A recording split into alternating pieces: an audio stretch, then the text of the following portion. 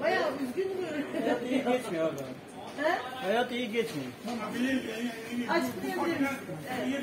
Ama eşyamız satıyor, eşyamız gitmiyor. Ve eşya var, içeride alamıyor. Dışarıda da satamıyor. Hmm. Nereden alıyorsunuz malları? Bu hurmadır. Bu masitodur. Bu mandalinadır.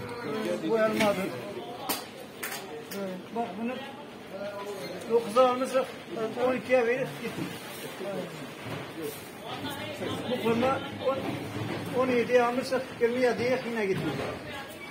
E ne olacak peki gitmezse? E sen esnaf öyle. Elinizde mi kalacak? Kal- kalmaz. Elimizde kalmaz. Ondan böyle kara kara düşünüyorum. Ne var? Allah kolay gelsin. Ne kadar kazanıyorsunuz peki? İşte kilolar 3 lira. Tamam. Bu tatlılar forma sayılır. Hmm. Ha bununla beraber alıyorsunuz. He. Alırken. Alırken. bunu kan, hani kaç kilodur? Tartalım aynen. Tartalım.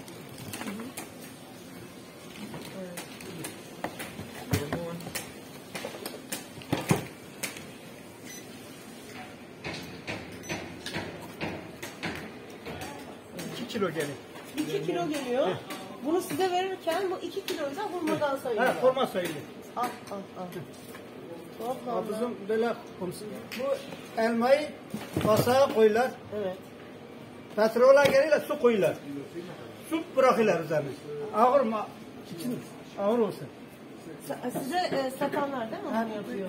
Bu fırsatçılığı. Ha bu fırsatçılık yapıyor. Ve böylece siz ha. zaten baştan Kasa zarar- kasa olan mı? Böyle takar. Tamam. Ha bunların üzerine su e, Su dökülen ağır olsun mesela fiyat şey olsun. Kazasınlar onlar. Biz de kazanmıyor. Ah kıyamam. Ve böylece zaten fazlasıyla pahalı alıyorsunuz. He. Akabinde de satamayınca eve eve Elimizde kalıyor. evinizi oraya ekmek tutuyor. Öyle. Allah kolaylık versin. Allah razı olsun. Buradan iletmek istediğim şey var mı? Yok, yok.